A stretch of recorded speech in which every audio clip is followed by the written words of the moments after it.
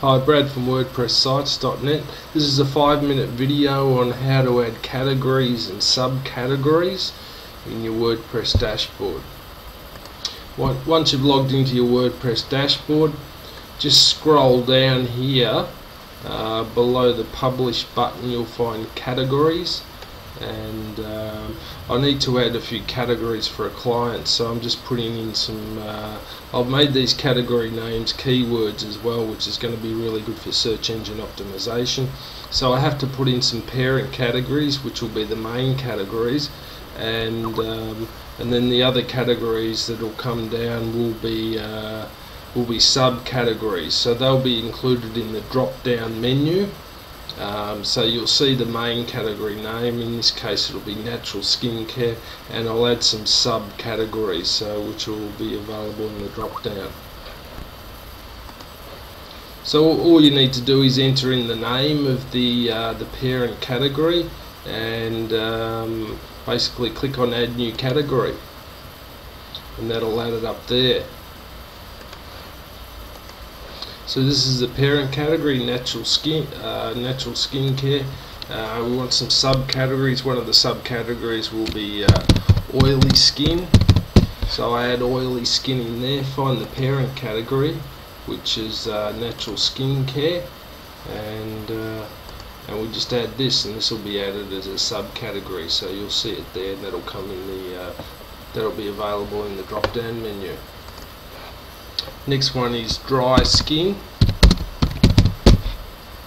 So we find the parent category again, which is natural skin care, and we add dry skin. We just click on add new category, and that'll add that as a subcategory under the parent category, natural skin care. So I'll just continue down the list, and uh, and that's how you do it. It's pretty straightforward. Here I've got another one, acne treatment. That's part of natural skin care add new category and that's added as a subcategory. Natural masks that's under natural skincare.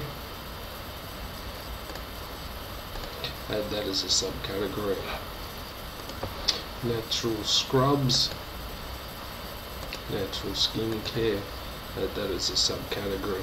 So there it is. It's, it's really straightforward and uh, I'll show you what it looks in the in the front end now once you've decided on all your categories and your subcategories, which are in this box here, uh, just make sure when you're uh, when you're publishing your post that you've ticked the correct box for the for the correct uh, for the correct category. Um, if you're going for a subcategory, you don't tick both. You just tick the subcategory. Um, so that so make sure that's all done correctly. You may also choose to add a tag, a post tag. Some people like to add 6, 8, 10, 12 different tags and use the different keywords that they've used in the content of their post as tags. Personally, I only add one tag and it's normally the main keyword that I've used for that post.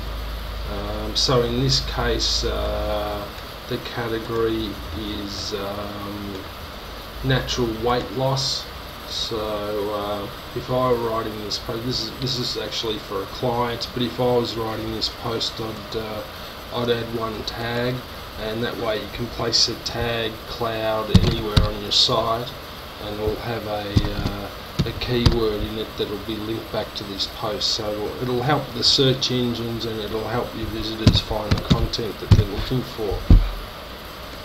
I'll just show you quickly how to insert an image and also how to insert the the alt tag to the image so that uh, the, the search engines like Google can read the images because they won't be able to see the image.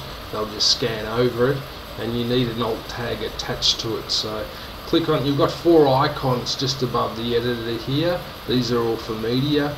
Cl click on the first one which says add an image now click on select files, just locate the file on your desktop or wherever you I'll just use one of these images here.